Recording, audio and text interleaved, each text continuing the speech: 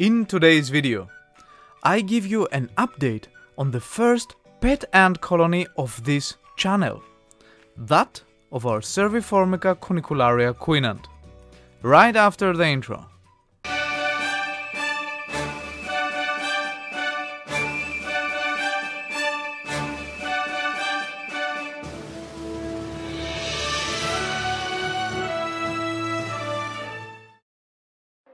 Hello and welcome to another Ants Vienna episode everyone.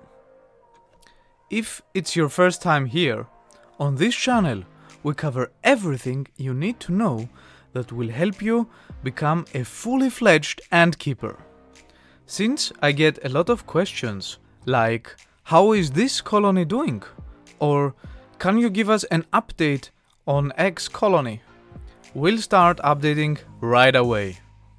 And which of our pet ant colonies would it be better to start with than that of the first queen ant I presented you on this channel?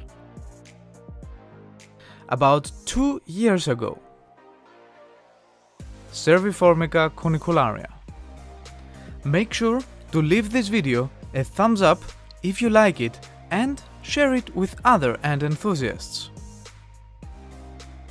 Formica ants in general are known for their big subfamily varieties and notorious stop and go movement patterns. What do I mean with subfamily variety? Out of most ant genus, Formica are one that have many parasitic queen ant species, like Rufa and Sanguinea, which need to take over a host colony and its workers before starting to lay eggs on their own. At the same time, Formica also have many species that often take the role of that host colony and are therefore called slave ants as a result. These species belong to the Serviformica subfamily and Formica fusca as well as Formica cunicularia are just two examples. In contrast to parasitic queen ants, Serviformica queen are fully claustral, which means that in the wild they seek a fitting spot to nest and start laying eggs right away.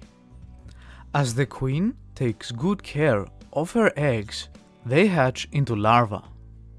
Claustral queen feed their first young with the energy provided from their no longer needed wing muscles. So the queen doesn't need to go out and endanger herself on the search for food. After they reach a certain size, larvae spin a silk cocoon around themselves and pupate. In this stage, they develop their exoskeleton before turning into worker ants eventually. That is the ant life cycle in a nutshell. As you may know, I house our Serviformica cunicularia ants in this self-made all-in-one formicarium of mine.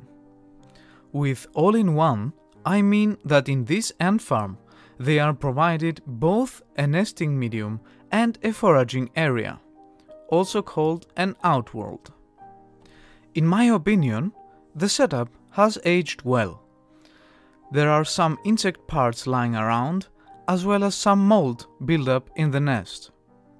However, the outworld can easily be cleaned with a vacuum cleaner, and the mold can be removed by letting the formicarium dry and using some sandpaper when our ant colony moves out. And just for the record, here you can also see that Formica ants can actually chew through plaster. Our colony didn't like the watering sponges, so they have torn them to pieces and used them to redecorate their home, while using the area where the sponge was as an extra nesting space or chamber. If you want to give it a try, and create an all-in-one setup like this yourself, go ahead and watch the corresponding video in our build tutorials playlist. I'll link it in the corner right now for you. Back to our ant colony now. The colony had about 55 workers during the start of the 2020 ant season. Since I have had some health issues and was not able to take care of my ants personally for the last couple of months, they were only fed with honey water in my absence. To produce and feed more young, ant colonies need protein in form of insects, for example. Therefore, our queen did not produce as many offspring this year. At the same time, her first set of workers, the nanitics, died. Nanitics cost the queen less energy to produce, but do not live as long as regular workers do. So, at the moment, our colony is left with somewhat over 40 workers. However, they also have three pupa, which will hopefully turn into worker ants before the winter comes and hibernation starts. Knowing that ants of the Formica genus hibernate without brood, this should be no issue, since the queen would not have laid these eggs in the first place if she thought they wouldn't successfully turn into workers before winter comes.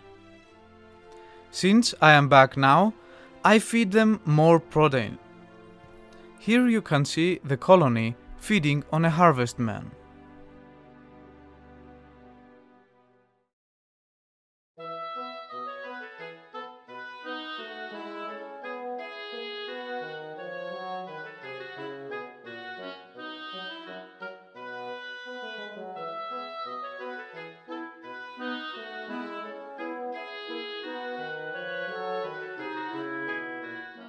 I will do everything in my power to help this colony thrive in the next season, so we can build a new ant farm for them. So far, Formica are my favorite ant genus after all. So here's my question to you.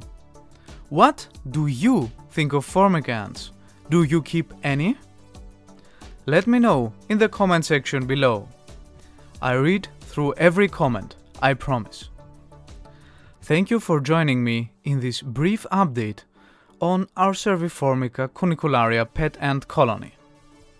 Make sure to hit the thumbs up button if you liked the video and subscribe if you want to see more colony updates. As always, thank you for watching and I'll see you in the next one. Bye guys! And girls, of course.